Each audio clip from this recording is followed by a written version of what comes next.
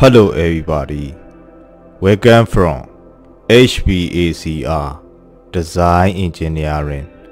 My name is Tuya. Now, I want to talk about hot and cold water dispenser working principle. Hot and cold water dispenser is consists of cooling tank and heating tank. Cooling tank consists of evaporator coil that is wrapping around the cooling tank for absorbing the heat from the water.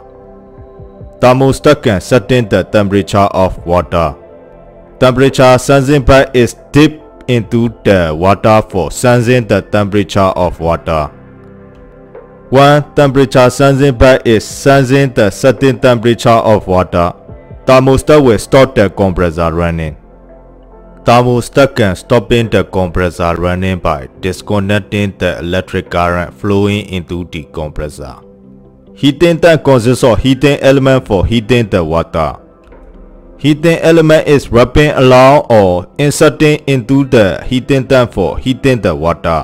When heating the water, light and neutral current must be supplied into the heating element. In hot and cold water dispenser, Water bottle is upside down on the top of the hot and cold water dispenser. This allows to fill both cooling tank and heating tank by gravity flow. Because cooling tank and heating tank are connected with drain tube. Now, we are looking at the refrigerant circuit in hot and cold water dispenser. In cooling tank, refrigerant liquid is passing through the evaporator coil for absorbing the heat from water. After absorbing the heat from water, refrigerant liquid is changing to low pressure, low temperature refrigerant vapor. And then, this low pressure, low temperature refrigerant vapor have been suctioned by compressor and changing to high pressure, high temperature refrigerant vapor.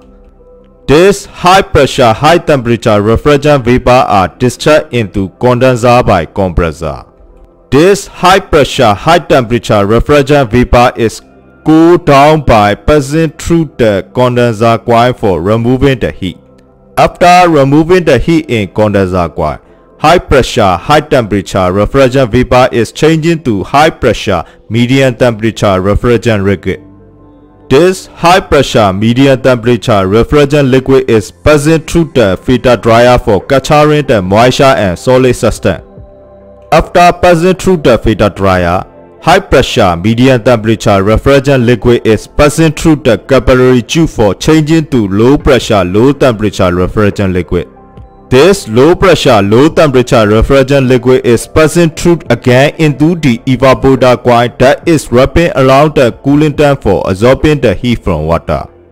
Thank you very much for watching my video.